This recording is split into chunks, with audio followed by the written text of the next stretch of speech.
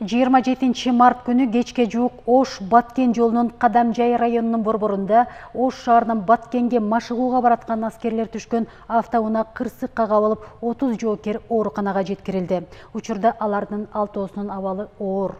Аскерлер түшкөн унаа жолдон чыгып кеткен участокта буга чейин да бир нече жолу кырсык катталып, жергиликтүү эл нааразылыкка да чыгышкан.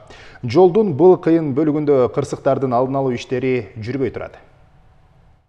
Коргоо министрлигинин Баткендеги 3630 аскер бөлүгүнө окуп машыгуу үчүн баратып кырсыкка кабылган жоокерлер Оштогу тоо аткычтар аскер бөлүгүнөн чыгышкан. Жол кырсыгы Ош Исмана жолунун 123-чакырымында катталган. Окуяга күбө болгон жергиликтүү тургун Алтынай Сопокова аскердик унаа эч кандай коштоочусу жок эле келгенин айтат. Военныйлар өздөрү деле ушу сопровождение менен алып кеткенден кийин алып кетиш керек да.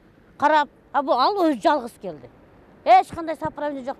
Машина катуу келди. Чындыгында катуу келди. Мен даже кандып бурулат экен деп караганга успеть этпей калдымчы ушундай карап турдум эми тээ жактан көрүнүп турду келип туруп мына тротуарга бир жени менен чыгып туруп кайра келип бериге сайылды.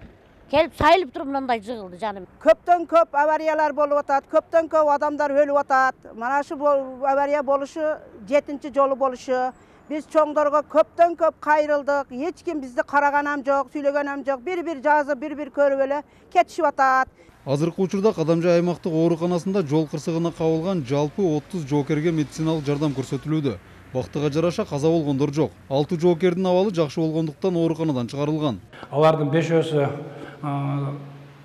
акыбалы оорундугуна байланыштуу реанимация бөлүмүндө алардыкы стабильный тяжелый крайне тяжелыйлары жок политравма бирөөсү операция болду внутреннее кровотечение разрыв мочевого пузыря. Жардам көрсөтүлүп кечээ операция болуп азыркы күндө акыбалы стабильный жакшы мындай жол кырсыгын болтурбоо боюнча жергиликтүү тургундар нааразылык акциясына да чыгышкан анда унаа министрлигинин дарегине сын пикирлер айтылып ош баткен исмана жолунун кадамжай районунан өткөн аралыгы талапка жооп бербестиги айтылган ал эми унаа жолдор башкармалыгынын жетекчиси жол кырсыктары жүк ташуучу унаалардын техникалык жактан каралбагандыгынан жана айдоочулардын тажрыйбасы жоктугунан болуп жатат дейт сол жагына кеңейтүү боюнча долбоор түзүлдү андан бөлөк дагы бул жерде мына жолдун ылдый жагына мына үйлөрдү тосуу үчүн бетондон дубал долбоору түзүлүп бүттү.